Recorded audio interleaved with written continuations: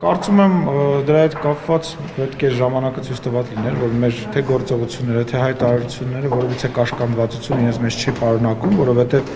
երբ խոսքը գնում է Հայաստանի Հանրապետության մասին, Արցախի Հանրապետության մասին, որևիցե կաշկանդվածություն ու որևիցե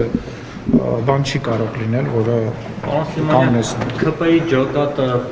առաջնագիտ երբ է մեկնելու զորավարժությունների եք մտածում, կարծես նախապատրաստական աշխատանքի։ Դրա դրա հետ կապված որևիցե բան չեմ կարող ասել, շատ-շատ պատճառներ, նաև անվտանգ։ Այսօր էլ են չէ մեկնելու։ Այո, անընդհատ մեկնում են մեր բարձրաստիճան պաշտոնյաները առաջին իսկ օրվանից առաջնագծում են, որոշները ծառայություն են իրականացնում, որոշները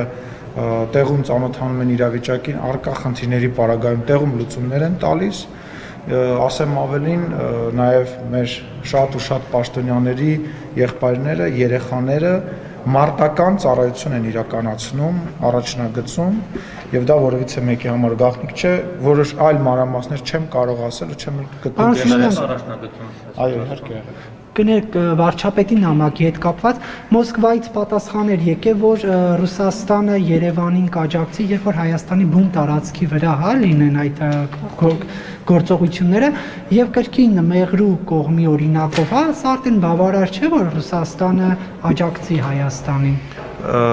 Շատ բաներ այսօր բարձրաձայնել ճիշտ չի շատ բաներ իմ կողմից ճիշտ չի եւ շատ բաների մասին խոսելը ճիշտ չի։ Ես պետք է ասեմ միայն մի բան։ Իմացեք, որ այն ամենը, ինչ որ որ տեղի է ունենում մեր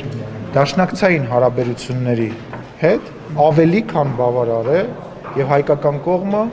կարելի ասել լիովին բավարարված է այն ամենով, ինչ այսօր տեղի է ունենում։ Որի համար նաև ուզում եմ եւս մեկ անգամ շնորհակալություն հայտնել Ռուսաստանի Դաշնությանը եւ անձամբ Ռուսաստանի նախագահ Վլադիմիր Վլադիմիրոviչ Պուտինին։ Այդ խորհրդակցությունները սկսվել են, որ պատասխանում նշվել է, թե ըստ անհրաժեշտության կսկսվեն խորհրդակցություններ Երևանի հետ։ Ակնհայտ է, որ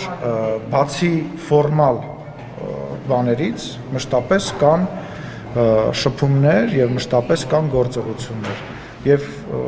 կոչ եմ անում մեր բոլոր քաղաքացիներին, լրագրողներին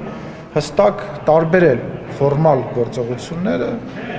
ռեալ գործողությունները եւ դրան նախորդող եւ հետեւող գործողությունները։ Միշտ չի, որ ամեն ինչ հենց միանգամից տեսանելի է եւ միանգամից կարելի է շոշափել, բայց